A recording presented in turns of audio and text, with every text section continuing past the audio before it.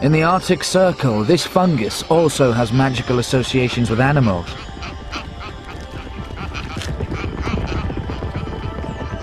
Fly agaric contains hallucinogenic chemicals and is a favorite food of reindeer.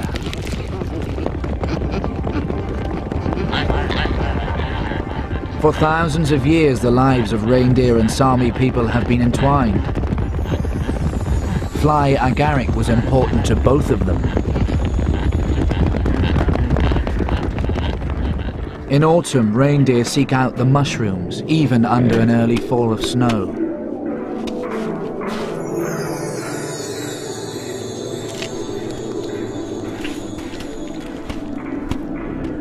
No one knows whether the reindeer are affected, but in the past, Sami shamans took fly agaric in their visionary rituals.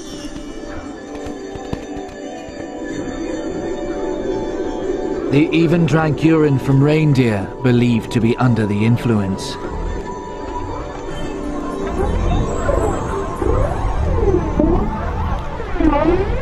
In trance, they contacted the great reindeer spirit.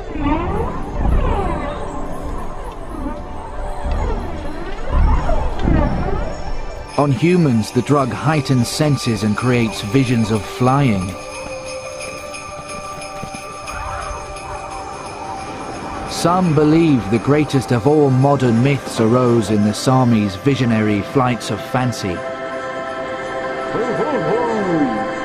Perhaps early 19th century ideas drew on these stories to create a Christmas legend.